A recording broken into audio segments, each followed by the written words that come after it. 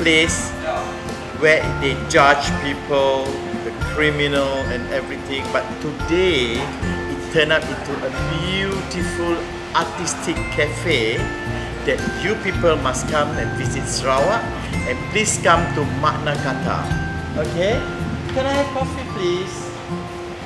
Thank you. Meh duduk dengan chef. Duduk sekali tak apa. Okey, saya telah membuat uh, penyelidikan. Ya, I have make a research in a few second earlier than before I came here.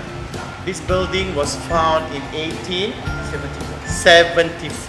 Ah, and it's an old court kan? Yes. Mahkamah lama. Ah, okey. Jadi apakah jenis uh, makanan yang dijual kat sini? Uh, sini uh, Western. Oh, western. Kenapa tak jual makanan Sarawak? Kalau nak makan western, kita pergilah kat Euro. Betul tak? Dah lama dah buka restoran ni? Ya, yeah, you baru kerja sini lah? Oh. Hmm, kopi dia memang best. Ya. Yeah? Fresh. Ya. Yeah? Kopi dari mana? Coffee sound. Okay. Okay. Hmm. Sedap. Very nice, very fresh. Okay.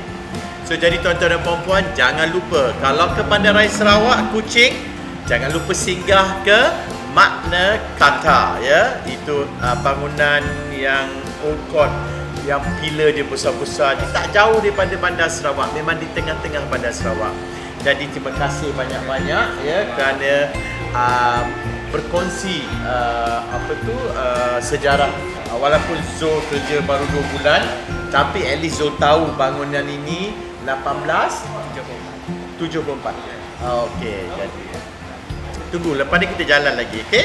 Sebelah ni ada lagi satu restoran juga cantik juga kan Zul Yes.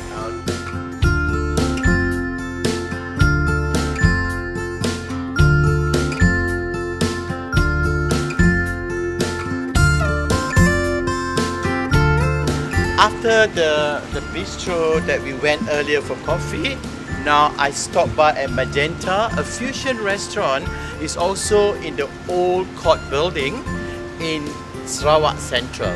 Let's check it out. What are the special menu they're going to serve us? Hello, Chef. Welcome to Magenta. Apa khabar? Baik. Baik, baik, Yeah. sihat, Alhamdulillah. Tell me about Magenta. What what type of restaurant is Magenta? Magenta is a Western restaurant. It's also a fusion restaurant. Oh, fusion restaurant. Yeah, Okay. But do you have like local Sarawak Uh, laksa or Uh, it actually is off menu. If you want uh, the uh, local food, I can ask for my boss. oh pre-order? Uh, Okay, this is beautiful, yeah. The restaurant, and you still keep all the antique Yeah. and also the interior are very nice. So can I check out the menu, please? Ah, what's your name? uh, my name is Hairul. Hyrule. How long you been working here, Hyrule? How long you been working here? Uh, two months. Oh, everywhere I go is two months.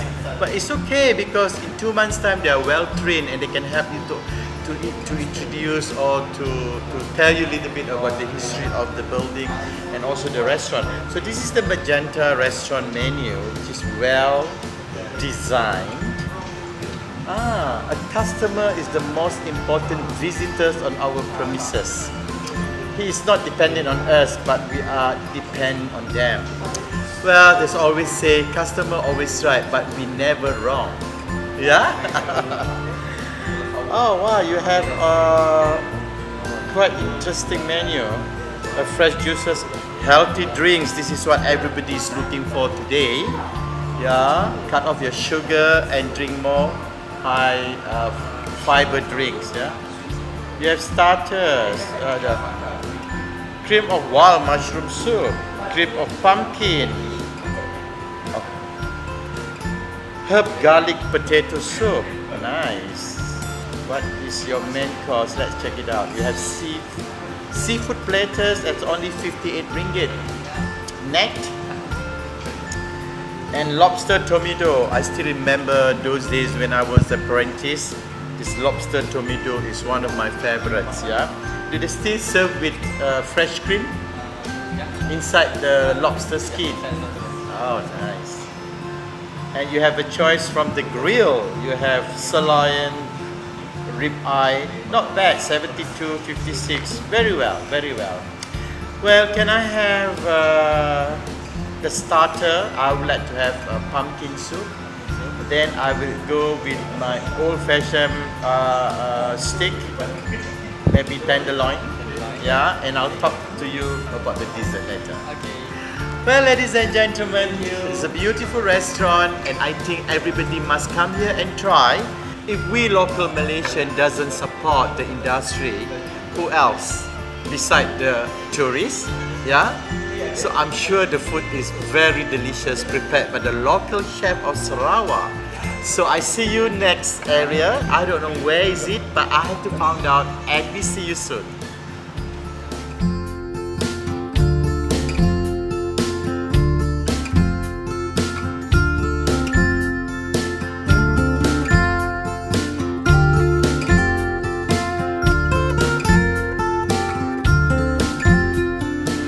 Under the cotton tree, pokok kekabu. 80 years old. It's under the Sarawak Tree Heritage Foundation. So I'm so lucky. Imagine 80 years old. I'm 55. Yeah, the tree is about 30 over years older than me. But I can feel the the the spirit, the heritage when I'm under this tree. I'm sure you know what is Pokok Kekabu. Smack in front of Merdeka Palace Hotel. So when you are in Sarawak, do come and drop by and be under the tree. This is feeling very good. Merdeka, Merdeka, Merdeka, 1957, where we had our Independent Day. Look at the posters.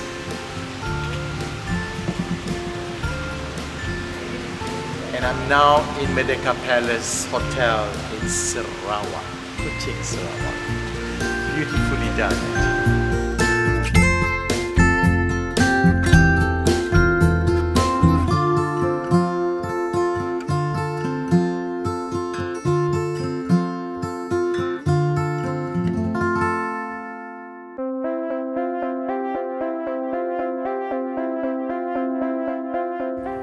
Saya dalam perjalanan ke pasar ya.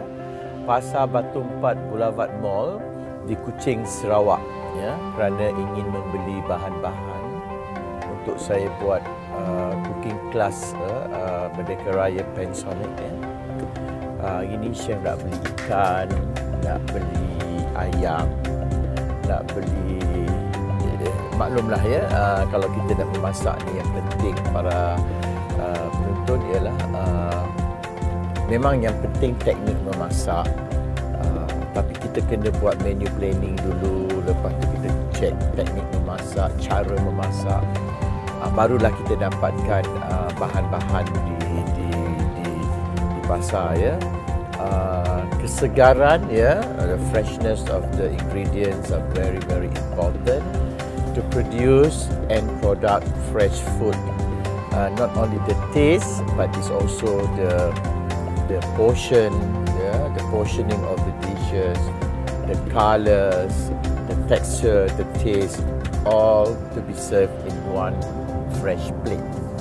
Okay, mereka masih mengekalkan uh, pasar apa tu barangan-barangan uh, sayur-sayuran daripada uh, kampung-kampung ya. Mereka bawa ke bandar untuk uh, berniaga.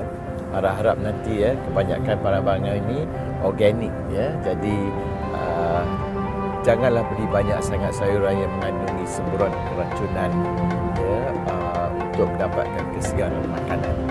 Jadi jom kita pergi pasar.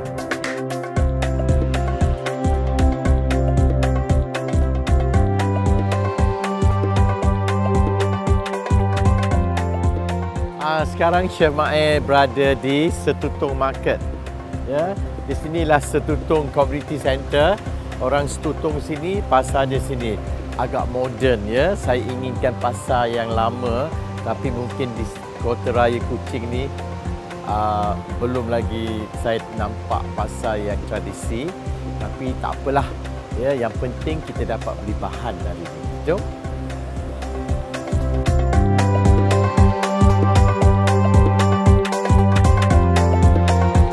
Ketam berapa kilo? Ah, okey lah. Wah, pasar di sini memang bagus.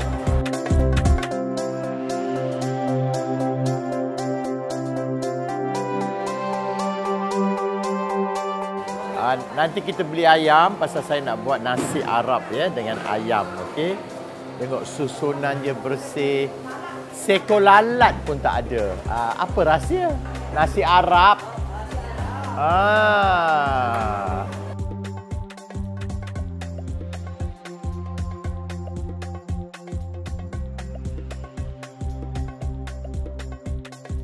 Ah, ini adalah pasar barangan kering ya.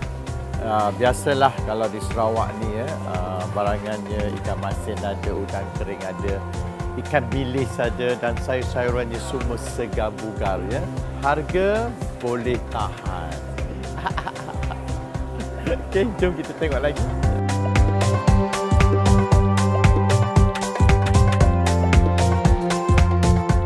Cantik. Ah, ini midin.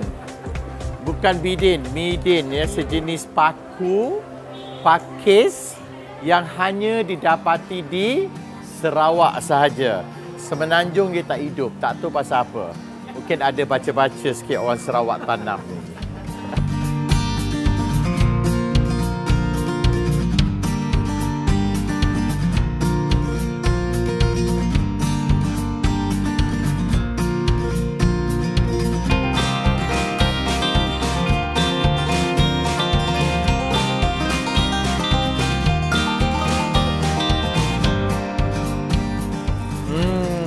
Kopi Sarawak.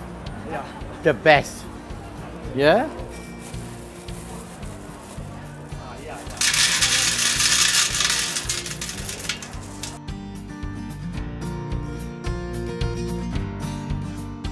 Ah, this one midin. See? Paku midin. Ah. Sawing orang apa? Orang kadaz. Bidayu. Orang Bidayu. Okey, ni Bidayu ni apa masakan tradisional dia? Uh, macam mas, masak ayam dalam panso. Ayam dalam buluh. Ya, dalam bulu. Oh, panso. Ah, bila masak ni? Masak hari-hari ke masak perayaan? Perayaan lah. Perayaan. Ah, orang kalau orang Bidayu kalau raya dia ah, apa? Ah, Hari kebesaran dia apa? Gawai daya. Gawai daya. Satu hari bulan enam. Oh, lagi lagi 6 bulan. Ya. Sebelum sebelum puasa lah. Ya. Ah, sebelum puasa. Ah, okey, terima kasih. ya.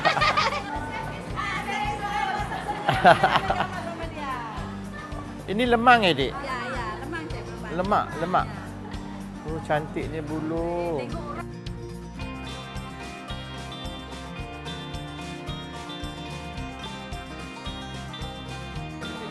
Oh, sedapnya. Ini adalah uh, lemang orang Bidayu Sarawak. Hmm, sedap. Hmm.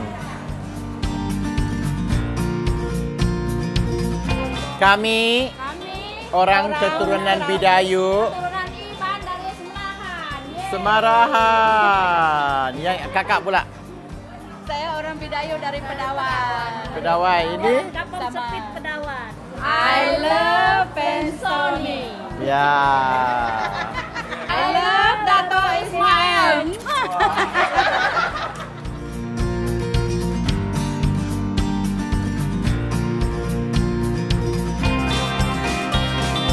dia. Saya dah beli macam-macam. Jom kita balik masak dekat hotel. Kalaulah saya ada dapur sendiri dekat Sarawak di Kuching ni, hari-hari saya akan masak.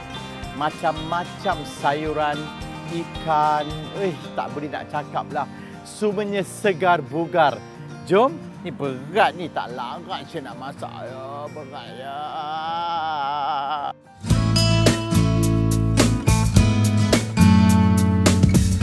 Ah, sekarang saya berada di tengah-tengah bandaraya Kuching dalam program Pansonic ya. Ah, inilah je kucing, nama dia pun kucing. Bila dia cakap miau miau miau. Ah, hari bandaraya kucing ni. Sonja kucing. Smile, smile. Ya Allah, dah lambat, dah lambat dah. Pasal apa hari ini saya ada special guest daripada Kuala Lumpur. Datang nak tengok saya masak dalam kelas memasak Panasonic 2015 di Kuching, Sarawak. Miau. Jom, jom, jom. Cepat siapa? Siapa? Cepat, saya dah lambat ni. Cepat, cepat. TV eh? Ayo, keluar TV, meh. Ayo, lai, lai, lai, lai. Cepat, cepat, cepat. cepat. Hai, mana pula lah ni? Tak sampai-sampai ni. Ramai sangat hari ni. Check in luggage maknanya lambat lah. Welcome to Kuching, sir. Selamat datang. Welcome to Kuching. Dek, hello, welcome to Kuching. Welcome to Kuching. Thank you, thank you. See, they know chef.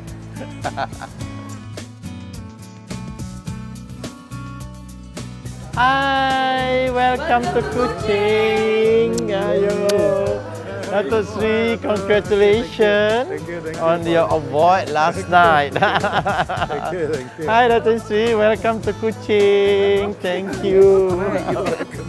Hi, Ambassador of Kuching. Welcome.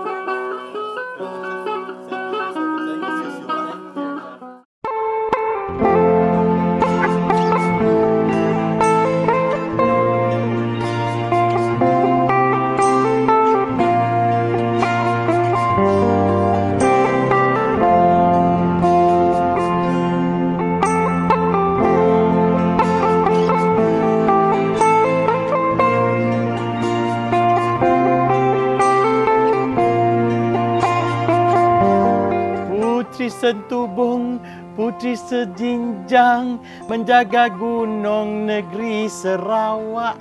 Ah, saya sekarang berada di uh, Kampung Budaya Sarawak ya. Di sini kita akan dapat uh, mempelajari adat istiadat orang-orang negeri Sarawak dan pertunjukan kebudayaan. Itu yang paling penting bagi kita mengetahui bagaimana berapa ramai suku kaum Sarawak ya. Jadi uh, lihatlah ya uh, betapa cantik indahnya uh, rainforest of Sarawak. Let's go and check it out. Mr. Pire is going to be our, my uh, guide for today. So Pire is also going to explain to us the culture, the lifestyle of Iban Longhouse.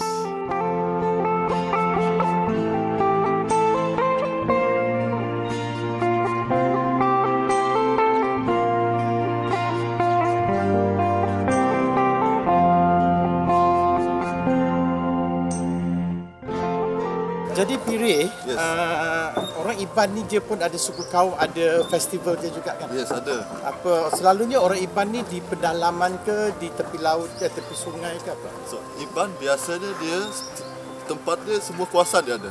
Ah. semua kawasan.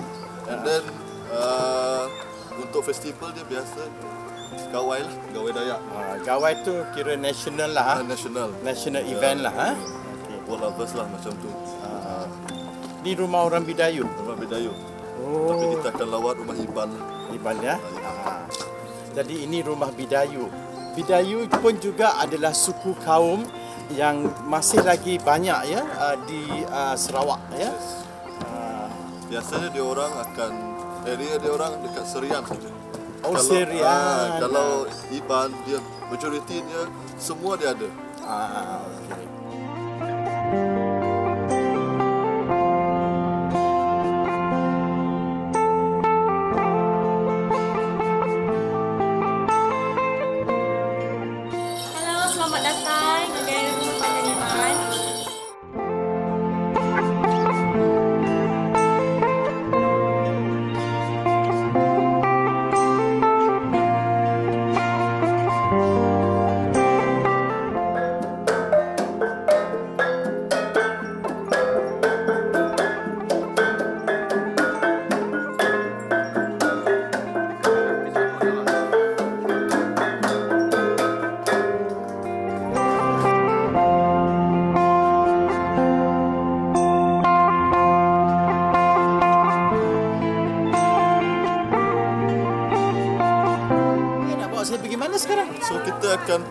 Pergi tengok show. Oh, Tunjukkan teater. Persembahan, yes. Oh, ada juga teater di sini. Ada.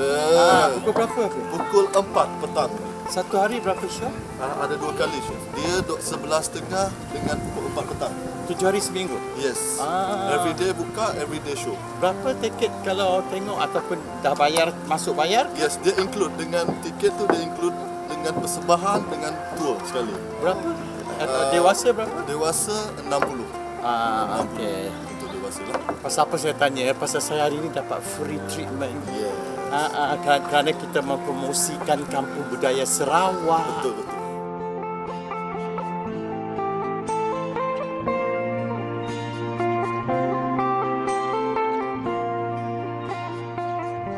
Sekarang kita menunggu uh, pertunjukan kebudayaan negeri Sarawak di Kampung Budaya Sarawak.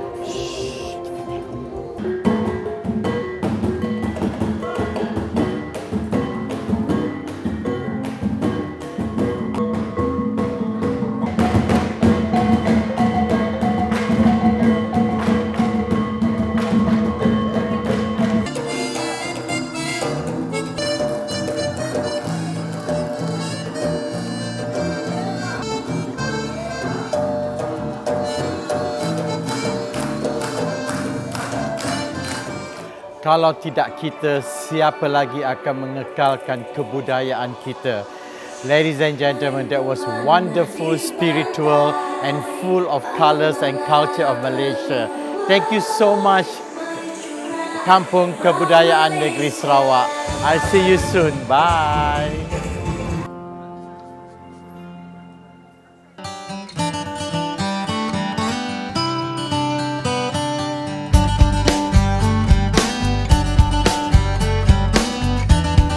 Sekarang kita berada di top spot di Kota Kuching ya.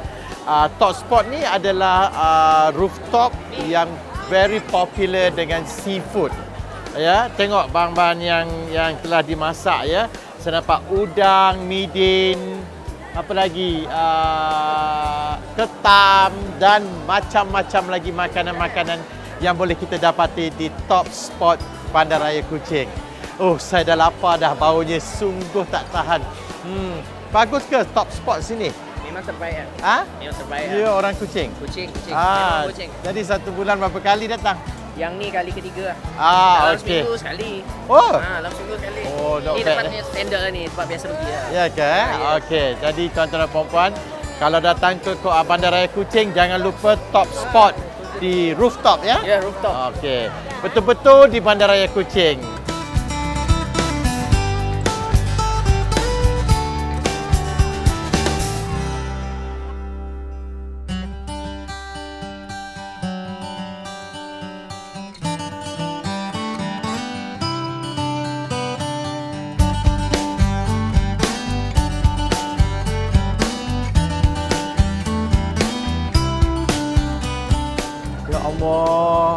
Sekarang saya berada di DP Ice Cream Gula Apong. That's original recipe di Bandaraya Kuching.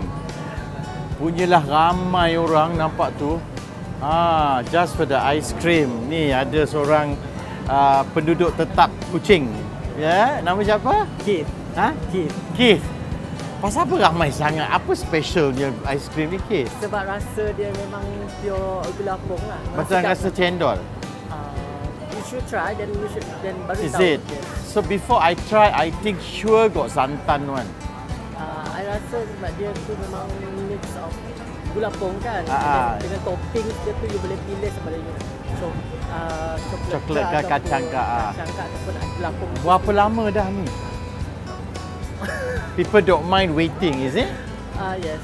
Saya Berapa, how much one stick of ice cream? Kalau yang kecil tu RM2, kalau yang besar tu RM5. Oh, mahalnya. Mahal. Eh, mahal pula. Murahnya. Patutlah orang beratur.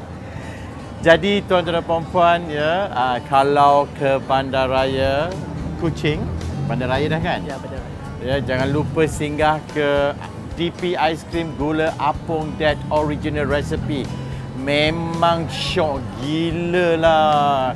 Kalau tak percaya, cuba.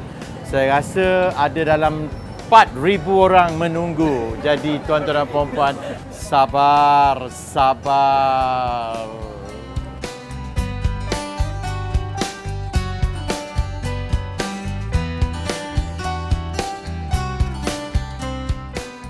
Hmm, sedap gila. Hmm. Patutlah beribu orang beratur dekat jalan apa pun tak tahu ni. Jalan apa nama ni, Dik? Ha? Padungan. Badungan? Pad. Oh, jalan Padungan ni. Kalau anda semua datang ke Bandaraya Kuching, jangan lupa rasa dip, DP Ice Cream Gula Apung.